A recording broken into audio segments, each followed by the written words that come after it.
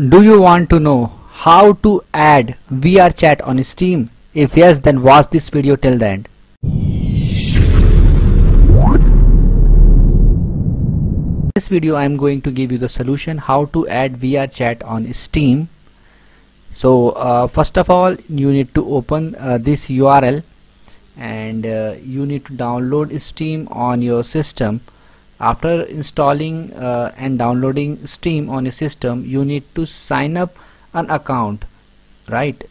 After that you need to log in to your uh, steam account. You can see uh, VRChat is very easy to you can go to store you can type here VR chat in the store. You can see VRChat is a free of cost and you can simply click on free chat and you can simply get VRChat on a system. You can add VRChat on your steam and it is free of cost. You do not need to pay anything for it.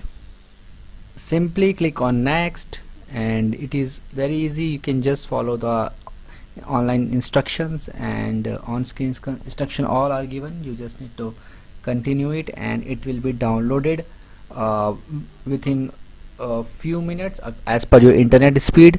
If your internet speed is fast it will be downloaded quickly. If slow then it may take some time. In library you can see it is getting downloaded. You can see it is showing in the process. So you can see downloading is almost completed. And now you can just simply uh, initialize the system. You can do the other processes.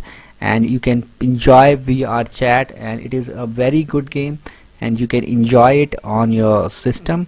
I do uh, play VRChat regularly. You can see play button is also showing here. You can simply open it and you can complete the installation. You can see this when this will end you can simply play uh, VRChat on your system. And it is very very enjoyable game. You can complete this uh, this process and I usually play uh, VRChat and uh, I hope now you will be able to do it friends. In case you find this video helpful just hit on the like button and subscribe my channel for my upcoming videos.